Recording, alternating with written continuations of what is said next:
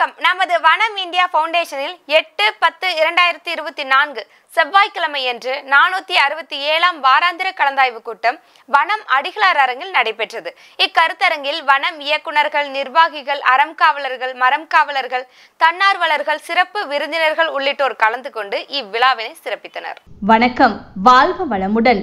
எட்டு பத்து இரண்டாயிரத்தி இருபத்தி நான்கு செவ்வாய்க்கிழமை அன்று நமது வனம் இந்தியா பவுண்டேஷனில் நானூத்தி அறுபத்தி ஏழாவது வனம் வாராந்திர கலந்தாய்வு கூட்டம் மிக சிறப்பாக நடைபெற்றது. இக்கலந்தாய்வு கூட்டத்தில் சிறப்பு விருந்தினர்களாக தமிழ்நாடு பத்திரிகையாளர்கள் சங்கம் தேசிய செயற்குழு உறுப்பினர் திரு ஏ கே பிரபாகரன் அவர்கள் மாநில துணைத் தலைவர் திரு தாமோதரன் அவர்கள் மண்டல செய்தியாளர் திரு பாபாஜி அவர்கள் கோவை மாவட்ட கலைஞர் தொலைக்காட்சி முதன்மை நிருபர் திரு ரா. சிவனேசன் அவர்கள் தினச்சூரியன் நிருபர் திரு ஆர். கனகராஜ் அவர்கள் யோகா ஆசிரியர் திருமதி பவித்ரா அவர்கள் வாசவி கிளப் இன்டர்நேஷனல் நிர்வாகிகள் திரு டி. கண்ணன் அவர்கள் திரு வி. சுரேஷ் அவர்கள் திரு ரகுநாதன் அவர்கள் திரு டி. வெங்கட சுப்பிரமணியன் அவர்கள் திரு பாலசங்கர் அவர்கள் திரு ஹரிசங்கர் அவர்கள் ஸ்டார்ட் கிஃப்டிங் திரு சரவணன் அவர்கள் திருமதி தேவி பிரசன்னா அவர்கள்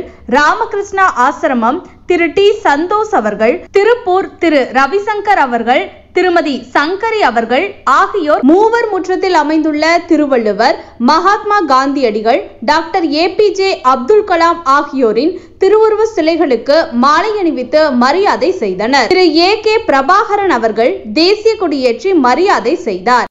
பின்னர் மூலிகை செடி நடவு செய்து கூட்டத்தில் கலந்து கொண்டனர்.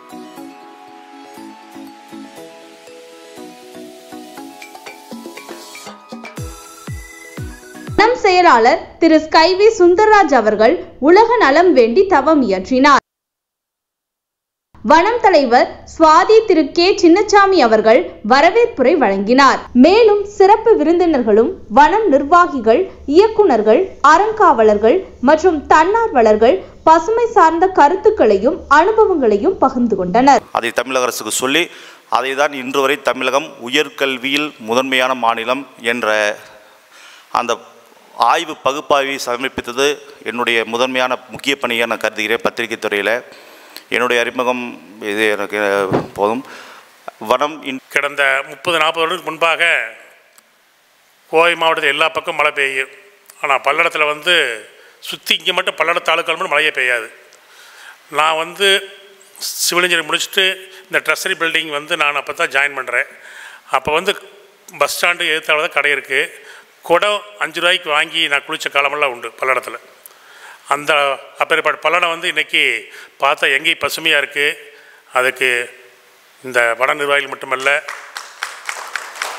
இதுக்கு உறுதுணையாக அதாவது தினசரி வார வாரம் தினசரி இங்கே புதிய புதிய நண்பர்கள் வருகிறார்கள் புதிய புதிதாக மறக்க நுழைகிறார்கள் எதிர்காலத்திலே பல்லடம் முழுவதும் மட்டுமல்ல திருப்பூர் மாவட்டம் முழுவதும் தமிழகம் முழுவதும் வனத்தோடைய கால் பதிப்பு இருக்க வேண்டும் என்று கூறி வாய்ப்புக்கு நன்றி கூறி விடைபெறுகிறேன். மனம் இந்தியா அதாவது மக்களை மாற்றும் என்பதில் எனக்கு நம்பிக்கை உள்ளது. ஏன்னா நான் என் வீட்டுக்கு மேலே ஒரு மூணு மாதம் தான் ஆச்சு. செடிகளை வச்சேன். ஆனால் கிளி பறவைகள் நிறைய வர்றதை பார்த்து என் மனசு ரொம்ப அமைதியாக இருக்குது காரில் வந்து திருச்சி சாலையில் போயிட்டு இருக்கும்போது ஆட்டோமேட்டிக்காக அந்த கண் இந்த சீர் வரும். அந்த வன வனாலயன் பார்க்கும்போது நானும் நினப்பேன் ஒரு நல்ல ஒரு சூப்பராக ஏதோ நல்லா இது பண்ணிருக்காங்க அப்படிங்கிற மாதிரி எனக்கு தோணி இருக்குது. ஆனால் அதே அந்த வனாலயத்துக்குள்ளே உள்ளே வந்து இன்றைக்கி நானும் இங்கே நின்று பேசும்போது எனக்கு ஒரு பிரம மகிழ்ச்சியாக இருக்குது. பக்கத்தில் இருக்கிற அருகாமையில் இருக்கிற மரங்களை வெட்டாமல் பாதுகாக்கணும். அதுதான் பெரிய விஷயமா இருக்குது. ஏன்னா பெ இப்ப நல்லா பெருசாக வளர்ந்தோடனே ஒரு ஏதோ ஒரு இடையூறு ஏதோ ஒரு இடையூறாக சொல்லி அது மரத்தை வெட்டுறாங்க. அதே கா பாதுகாத்தாலே இந்த மரம் இடம் நட்டு வளர்த்த முடியாதவங்க அதை அந்த மாதிரியே செஞ்சாலே நல்லா இருக்குன்னு இந்த பூமிக்கு நாம் என்ன பண்ணுறோமோ அது நமக்கும் நடக்கும். இல்லைங்களா? புராணத்தில் ஒரு வர்ணனை வரும். அதில் வர்ணிக்கிறப்போ மரங்கள் வந்து கடவுள் மேல் இருக்கும் ரோமம் முடி ஒவ்வொரு முடி அப்படின்னு சொல்லி அதில் வர்ணனை வரும். அந்த மாதிரி நாமளும் இந்த உலகத்தில் சேர்ந்த ஒரு சின்ன உயிர் ஜீவன். இந்த உலகத்தோடு சேர்ந்து வாழ நாம் நம்மை பழக்கப்படுத்திக் கொள்வோம். நான் வந்து வாசவி கிளப் இன்டர்நேஷ்னல் அப்படிங்கிற ஒரு அமைப்பில் இன்டர்நேஷ்னல் சீனியர் வைஸ் பிரசிடெண்ட்டாக இருக்கும். இந்த அமைப்பு வந்து பார்த்தீங்கன்னா Lions Club Rotary Club Jaycees மாதிரி இந்த கிளப்பு வந்து இந்தியாவில் கிட்டத்தட்ட ஒரு ஆயிரத்தி முந்நூற்றம்பது கிளப் இருக்குது இதோட தலைமையாகவும் வந்து ஹைதராபாத்தில் இருக்குது பல்லடம் நான் பார்த்துருக்கேன் கண்ணால் பார்த்துருக்கேங்க. எங்கே பார்த்தாலும் குடத்தை தூக்கிட்டு எல்லாம் போகிறத பார்த்துருக்கேன்.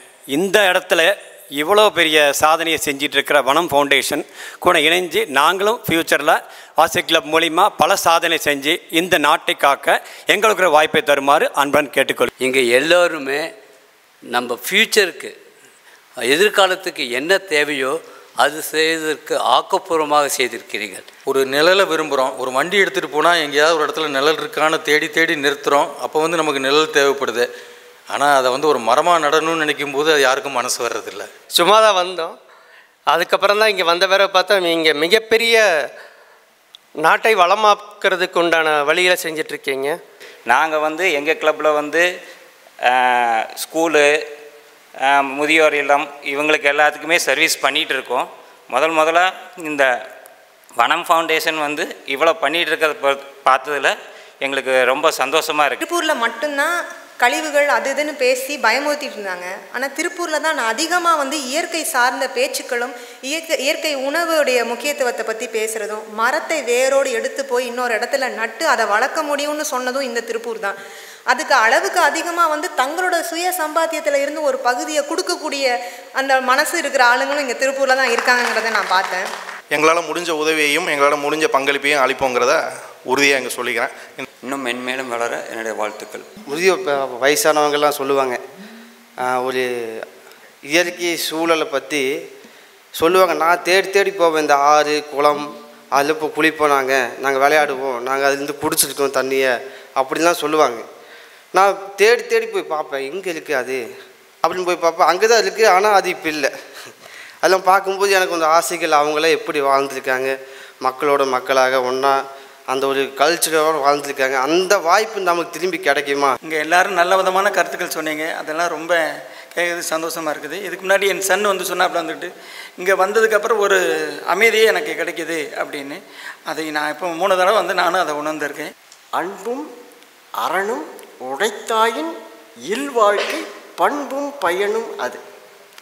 உங்களுடைய வாழ்க்கை பண்பானதாக பயனுள்ளதாக அமைய வேண்டுமென்றால் அற வாழ்க்கை நாம் வாழ வேண்டும். அந்த அற வாழ்க்கைக்கு தலைமையான பணி முதன்மை பணி இந்த பசுமை பணி. இன்றைய அன்னபாளிப்பு வழங்கிய வனம் விரிவாக்கத்துறை திரு பி. கண்ணன் அவர்களை வாழ்த்தி கூட்டம் நிறைவடைந்தது. இணை செயலாளர் திரு கே. எம். ஈஸ்வரமூர்த்தி அவர்கள் நிகழ்ச்சியை ஒருங்கிணைத்தார். இந்நிகழ்ச்சிக்கான ஏற்பாடுகளை வனம் ஊடகத்துறையினர் செய்திருந்தனர். நிகழ்வுகளை உடனுக்குடன் தெரிந்து கொள்ள யூடியூபில் ஸ்கை மீடியா சேனலை சப்ஸ்கிரைப் செய்யுங்கள். அருகில் இருக்கும் பெல் பட்டனையும் கிளிக் செய்யுங்கள். நன்றி.